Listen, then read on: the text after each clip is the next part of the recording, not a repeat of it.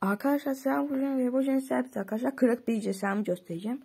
Evet bu da kırık bir cesaret. Bakın ismi Renova. Bakın göstereyim. He, bakın çiğlenmiş ve arkadaşlar açıyorum. Artık hazır mısınız ekranı görmeye? Ve işte bu da kırık bir cesaret. Bakın abi cidden kırık bu bir cesaret ya. Bakın klavyesi çiğlenmiş halde ve böyle yaptığımda açılmıyor bakın. Ve hiç çalışmıyor bu bilgisayar. Zayıf bilgisayar. Donuyor arkadaşlar bu bilgisayar. Bakın şurasını da göstereyim size. Şurası da kırık. İşte şu yüzden bozulmuyor. Bu, bu biraz kırık olduğu için o yüzden çalışmıyor. Bu arada arkadaşlar bu bilgisayarın fişi yok. Atmışız bu bilgisayarın fişini. Bu da arkadaşlar mouse'u. İşçi bir mouse oyunlarda çalışmıyor olan bir bilgisayar. Bakın ismi dev. Altta böyle. Hoşum gitmiyor bilgisayarın. Kötü bilgisayar aslında. Ben kırmadım. Kardeşim kırdı. Bakın. Şöyle tutuyorum.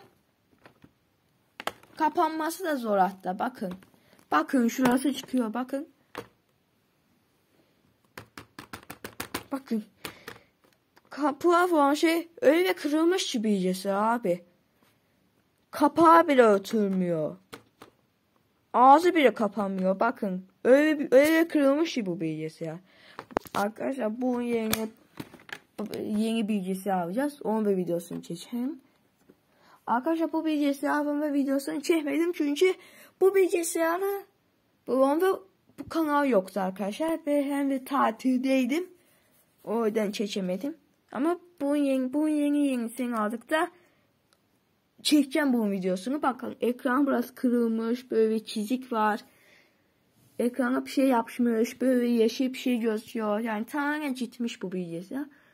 Bir tane daha bilgisayar vardı. Dev.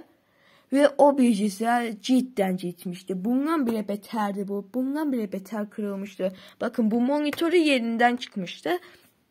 Şurası da kırık böyle. Şeyin bile taksam açılmıyor. Ekranı da bozuk bu bilgisayarın. Diğer bilgisayarım değilse arkadaşlar çalışmadı. Yani o bilgisayar da dondu. Eski bilgisayar. Onun monitörü çıkmıştı. Ve klavyesi her yere çıkmıştı. Bu bilgisayar alındıktan sonra, alındıktan sonra arkadaşlar artık o diğer bilgisayar ismi de değildi. Bu bilgisayar ismi arkadaşlar DG3.